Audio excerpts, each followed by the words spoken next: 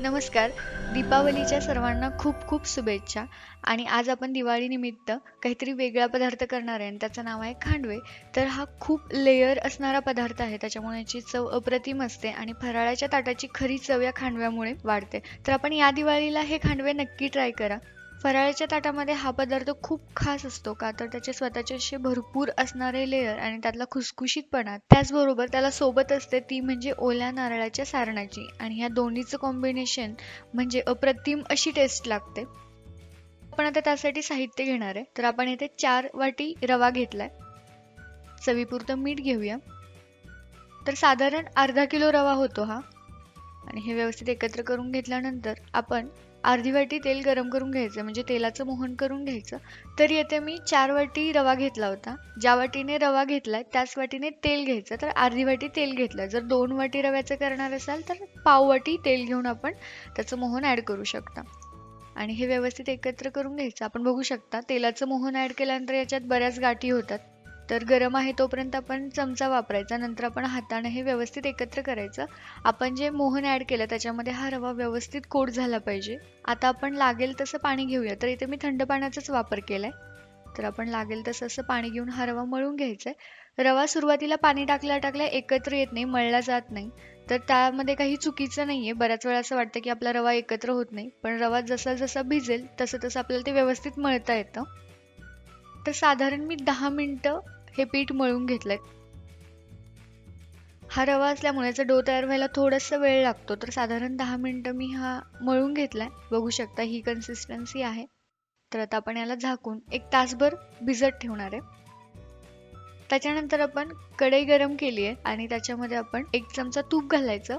ते व्यवस्थित कळलं की आपण अर्धी वाटी पांढरे तीळ वापरायचे आहेत. पांढऱ्या तिळाचा वापर येथे आपण भरपूर करणार आहे. याच्यामुळे आपल्या सारणाला चव येते. आणि हे व्यवस्थित भाजलं गेलं की आपण ओल्या नारळाचा खीस ॲड करणार आहे. तर इथे मी अर्ध्या नारळाचा वापर केला आहे ओल्या नारळामध्ये पाणी असतं. हे आपण तोपर्यंत परतून घ्यायचं जोपर्यंत यातला पाण्याचा अंश कमी होत नाही आणि पूर्ण हा खीस सुट्टा होत नाही. तर आपण बघू शकता यातला बऱ्यापैकी पाण्याचा अंश कमी झाला तर आपण आता गॅस बंद करूया आणि हे थंड होण्यासाठी ठेवायचं आहे याला आपण जास्त थंड करणार नाही आहे ज्यावेळी ते थोडंसं कोमट असेल त्याचवेळी आपण पिठी साखर ॲड करणार आहे.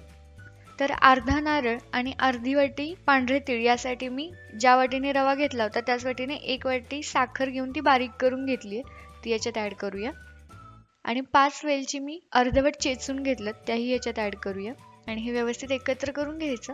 जर आपल्याला पाहिजे असेल तर आपण ड्रायफ्रुट्स थोडेसे भाजून बारीक करून घालू शकता जसं की बदाम काजू पिस्ता यातलं काही आपण याच्यात बारीक करून आपल्या आवडीनुसार ॲड करू शकता.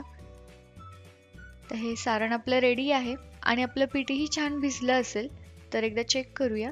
एक तासामध्ये पीठ अगदी मस्त भिजलं आहे आता आपण ह्याचे समान तीन गोळे करूया. म्हणजे आपल्याला हे तीन बॅचमध्ये मिक्सरला बारीक करून घेता येईल. तर याचे छोटे छोटे तुकडे करून आपण मिक्सरला बारीक करून घेणार आहे. बऱ्याच भागात त्याला चेचून घेतात आणि चेचून घेतल्यामुळे ते बारीक होतं पण त्याच्यासाठी खूप वेळ लागतो. म्हणून मी मिक्सरचा वापर केलाय. मिक्सरमध्ये खूप कमी वेळात बारीक होतं आणि पीठ एकत्र येण्यास ही मदत होते. तर असं हे मी तीन बॅचमध्ये मिक्सरला बारीक करून घेतलं आणि आपण अजून एकदा एक दोन ते तीन मिनटं हे व्यवस्थित मळून घ्यायचं. आता आपण जे पीठ भिजत ठेवलं होतं त्याच्यापेक्षा याला खूप मऊपणा येतो मिक्सरमध्ये बारीक करून घेतल्यामुळे.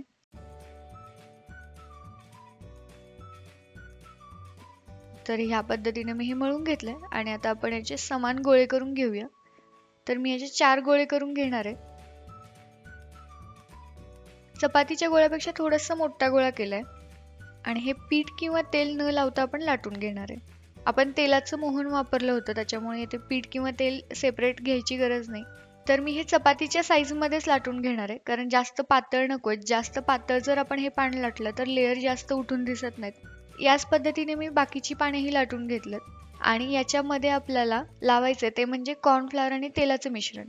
तर इथे मी चार चमचे कॉर्नफ्लॉवर आणि तेवढंच तेल घेतलं आणि व्यवस्थित ही पेस्ट अशी करून घेतली आहे. जास्त पातळ करायची नाही नाहीतर ती लाटताना बाहेर येते. आणि मी हातानंच याच्यावर पसरून घेणार आहे. आपण स्पूननेही लावू शकता पण हाताने अगदी व्यवस्थित लागते तर या पद्धतीने मी ही लावून आहे आता याच्यावर आपण दुसरं पान ठेवूया आणि त्यालाही असंच लावून घेणार आहे.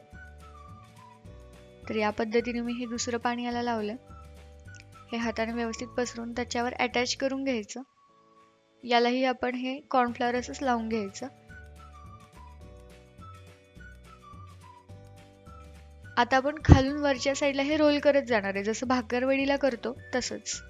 अगदी छोट्या छोट्या लेअर घेत आपण हे प्रेस करत करत आपण रोल करणार आहे. म्हणजे ह्याच्यात एअर राहणार नाही. आपण याला अजून थोडं प्रेस करूया. म्हणजे जर एअर राहिली असेल तर ती निघून जाईल. आणि सेम भाकरवडीसारखं आपण हे कट करून घेणार आहे पण थोडंसं मोठ्या साईजमध्ये कट करायचं आहे. तर हा भाग मी कट करते पहिला आणि बाकीचे व्यवस्थित मोठ्या साईजमध्ये करून घ्यायचं. कारण जेवढी मोठी साईज असेल तेवढ्या जास्त लेअर येतात आणि तेवढाच क्रिस्पीपणाही जास्त येतो त्याला. जर छोट्या साईजमध्ये आपण हे कट केलं तर लेअर उठून दिसत नाहीत तर मी हे या साईजमध्ये कट करून घेतलं. आता आपण हे असं ठेवणार आहे. लेअरचा भाग खाली गेला पाहिजे. आणि या साईडवरून आपण हे थोडंसं लाटून घ्यायचं. थोडं उभं लाटून घ्यायचं. आणि आता आपण याला बरोबर चौकोनी आकार देणार आहे. आपण बघू शकता या लेअर कशा येतात. आणि हे दोन टोक आपण चिकटवायचे. आणि मध्ये थोडंसं प्रेस करूया. म्हणजे ते पूर्ण उघडणार नाही तेलामध्ये टाकल्यानंतर. याच पद्धतीने मी बाकीचेही खांडवे लाटून घेतलं आणि तेल गरम झालं की आपण ह्याच्यात ते तळून घेणार आहे. तेल आपल्याला जास्त गरम करायचं नाही आहे याची साईड बदलून बदलून तळून घ्यायचं. थोडासा त्याचा मधला भागही आपण ओपन करून त्याच्या आतमध्ये तेल जाईल याची काळजी घ्या. म्हणजे त्याचा आतला भाग हा कच्चा राहणार नाही. आणि हे तळून काढल्यानंतर गरम असतानाच आपल्याला याच्यात सारण भरायचं आहे त्याच्यामुळे ते काळजीपूर्वक भरा. कारण तेलातून काढल्या काढल्या हे खांडवे खूप गरम असतात. पण जसे हे थंड होतील तसा त्याचा जो कुरकुरीतपणा असतो त्याच्यामुळे ते आपल्याला ओपन करता येत नाही. ओपन करताना ते लेयर तुटले जातात. म्हणून आपण हे गरम असतानाच याच्यात सारण भरतो. तर हे मस्त ब्राऊन कलर येईपर्यंत फ्राय झालं आहे व्यवस्थित तेल गाळून घेऊया. आपण बघू शकता. मस्त असे लेअर आलेत. आणि आपण गरम असतानाच याच्यामध्ये आपण केलेलं ओल्या नारळाचं भरपूर असं सारण भरणार आहे. तर याच पद्धतीने मी बाकीचेही खांडवे करून घेतलेत. आपण बघू शकता प्रत्येक खांडव्याला भरपूर असे लेअर आलेत. कलरही छान आला आणि चवीलाही त्या तितकंच छान झालं तर आपण या दिवाळीला हा पदार्थ नक्की ट्राय करा. कसा झाला ते कमेंट करून कळवा. लवकरच भेटूया अशा नवीन साध्या आणि सोप्या रेसिपीसोबत तोपर्यंत धन्यवाद.